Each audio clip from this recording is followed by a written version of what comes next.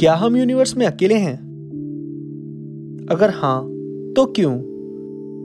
अगर नहीं तो एलियन अब तक हमें क्यों नहीं मिल पाए? या वो हमें क्यों नहीं ढूंढ पाए? सवाल ये छोटा है, लेकिन इसका उत्तर काफ़ी बड़ा और कंफ्यूजिंग है।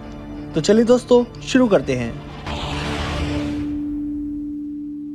ये ऑब्जर्वेबल यूनिवर्स करीब 1400 करोड़ साल पुराना है और 2 लाख करोड़ से ज़्यादा गैलेक्सीज हैं, जिनमें लगभग इतने स्टार्स हैं।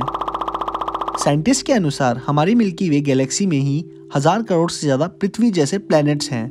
वो भी अपने स्टार से नॉर्मल डिस्टेंस पे, यानी हैबिटेबल जोन में। इन संख्या को देखकर ये सोचना काफ़ी मुश्किल है कि यूनिवर्स में हम अकेले हैं। तो इसलिए हम कुछ थ्योरीज आपको बताएँगे, जिससे एलियन रिसर्च के बारे में आपको सब जानकारी मिल जाएगी। सबसे पहले थ्योरी आती है रेयर अर्थ की। मतलब हम यूनिक हैं। इंसान जैसी कॉम्प्लेक्स इंटेलिजेंस का होना बहुत रेयर है। ऐसा कहीं और दिखना बहुत ज़्यादा रेयर है और हम अनोखे हैं। दूसरी थ्योरी आती है the Gaian bottleneck theory doctor Aditya Chopra की ये थ्योरी बताती है कि सब एलियंस मर गए हैं। कोई ज़िंदा नहीं है। इससे पहले कोई इंटेलिजेंट लाइफ अपने हैबिटेबल प्लेनेट पर उभरती, वहाँ सब कुछ नष्ट हो चुका था और आगे ग्रोथ नहीं हो पाई। अगली आती है डॉक्टर पीटर बहरूजी की अर्ली बर्थ थ्योरी। इसका मतलब हमें हेड स्टार्ट मिली हुई है। हमारी पृथ्वी यूनिवर्स में जल्दी आ गई है।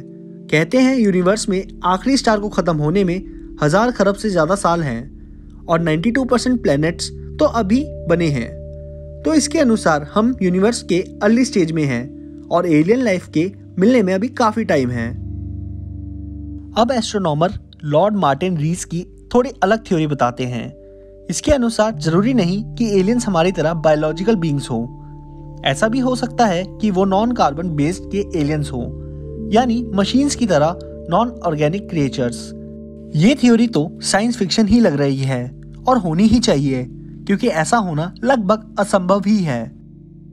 आखिर हम ढूंढ किसको रहे हैं?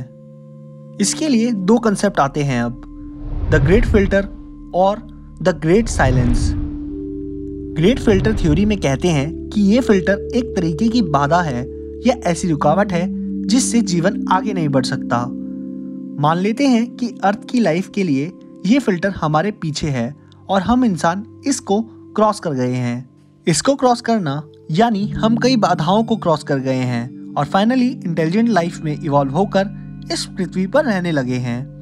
वैसे तो इस बात की कोई पुष्टि नहीं है कि लिविंग बींग्स कहाँ से आए हैं। कुछ के अनुसार जीवित प्राणी वहाँ हर जगह होंगे जहाँ प्लेनेट हैबिटेबल होगा। और कुछ कहते हैं कि सिर्फ़ अर्थ ही यूनिक है, जहाँ पर जीवन है और कहीं नहीं है। इसी में अगली चीज़ है कॉम्प्लेक्स एनिमल सेल्स का इवोल्यूशन एक बार कुछ ऐसा सेलुलर केमिस्ट्री का इवोल्यूशन हुआ होगा, जिससे एनिमल लाइफ का जन्म हुआ होगा। हर बैक्टीरिया का प्लेनेट पर इवोल्यूशन हुआ होगा। लेकिन बाय चांस अर्थ पर यह इवोल्यूशन इतना कॉम्प्लेक्स होता गया कि जिससे इंसान बना, यानी इंटेलिजेंस बनी, और हमने ग्रेट फ़िल्टर क्रॉस कर लिया। दूसरा केस आता है कि ग्रेट फ़िल्टर हमारे आगे है, और धीरे धीरे हम इसके नज़दीक आ रहे हैं। अगर लाइफ आई है तो उसका किसी भी तरह खत्म होना निश्चित है। यूनिवर्स के सारे जीवित प्राणी का अंत हो गया होगा। जैसे कोई किलर एस्ट्रॉइड आया होगा सोलर फ्लेयर होगी सुपरनोवा हुआ होगा। या गावा रेस का धमाका। अभी तक तो हम लकी रहे हैं, लेकिन ऐसा होना तय है। कोई सर्वनाशक घटना एक दिन इंसानियत को खत्म कर देगी और हमारा नामो निशान मिट जाएगा। वो हमारे लिए ग्रेट फ़िल्टर होगा, जिसके आगे ज़िंदगी का अंत निश्चित है। अब आते हैं द ग्रेट साइलेंस पे।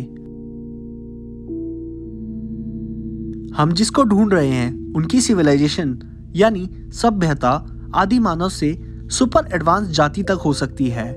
रेफरेंस के लिए ह्यूमंस को ही ले लेते हैं। इंसानों ने भाला से स्टार्ट करके आज हाईटेक मिसाइल्स बना ली हैं। इंसानी दिमाग हमेशा से क्यूरियस कॉम्पिटिटिव रिसोर्सेज के लिए लालची और हमेशा आगे बढ़ना चाहता है।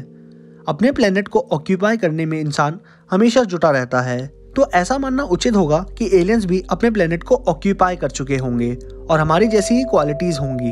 अब उनकी टेक्नोलॉजी कैसी होगी? और क्या काम करती होगी, ये सब हमें सोचने की ज़रूरत नहीं है। कोई जाति कितनी एडवांस है और कितनी प्रगति कर रही है, इसका पता एनर्जी यूज़ से चलता है कि कोई कितनी एनर्जी अपने वातावरण से निकालकर यूज़ कर सकता है। अर्ली मैन ने आग को कंट्रोल करना सीखा। पानी और हवा से एनर्जी बनाई। ज्ञान बढ़ा और मशीन बेहतर होती गई। समुन्दर में दफन तेल को निकालकर एनर्जी बनाई और इंसान की क्षमताएँ भी बढ़ती गई। 1800 से 2015 तक पृथ्वी की आबादी सात गुना बढ़ गई है और एनर्जी यूज़ 25 गुना। ये प्रोसेस फ्यूचर में आगे बढ़ता रहेगा। और इन्हीं फैक्ट्स को लेकर एक साइंटिस्ट निकोलाई कार्दाशेव ने इन सिविलाइजेशंस के लिए कैटेगरीज बनाई। ये स्केल सिविलाइजेशन के एनर्जी यूज़ के अकॉर्डिंग रैंक करता है। इनको चार कैटेगरीज में रखा गया है। टाइप वन सिविलाइजेशन अपने प्लेनेट की अवेलेबल एनर्जी को यूज़ कर सकते हैं। हम इसी कैटेगरी में आते हैं।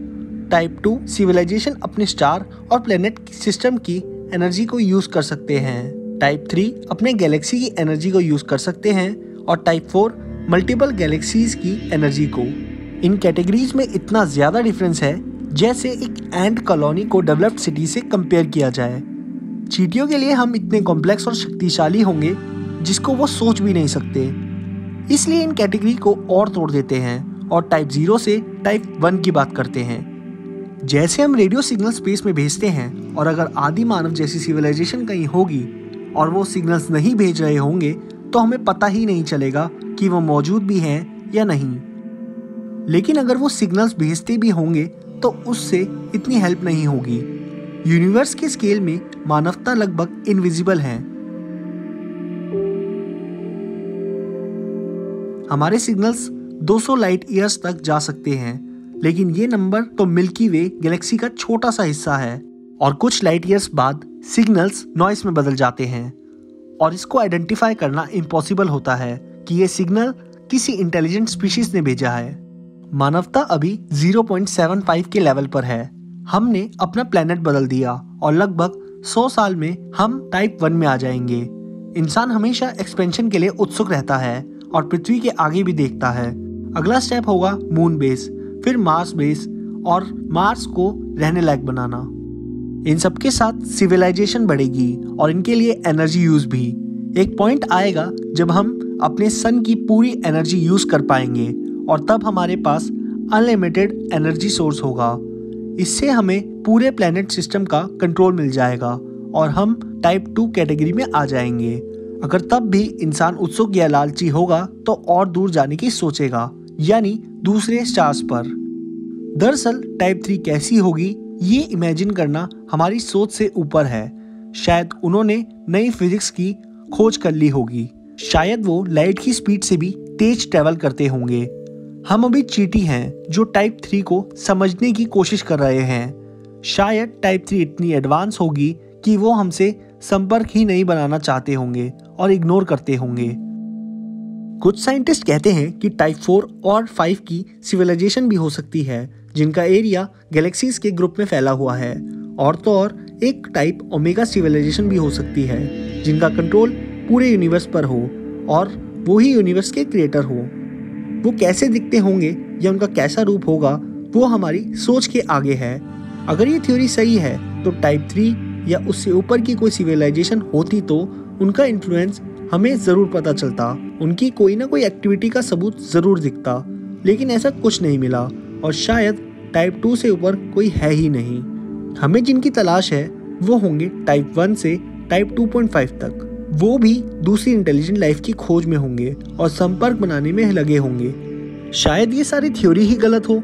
टाइप टू का मतलब कुछ अलग ही हो और मानवता अभी नदान हो, ऐसा कुछ समझने के लिए। अभी तक तो हमें कोई नहीं मिला। अभी तो खोज स्टार्ट भी नहीं हुई। शायद एलियन इंटेलिजेंस हमारी टेक्नोलॉजी से काफ़ी दूर हो और उनसे संपर्क बनाने में काफ़ी टाइम हो। या तो हम उन्हें ढूंढ लेंगे या वो हमें। जब भी ऐसा होगा, वो दिन काफ़ी एक्साइटिंग होगा। तो दोस्तों, आपका क्या कहना है इस टॉपिक पर? हमें कमेंट में ज़रूर बताएँ।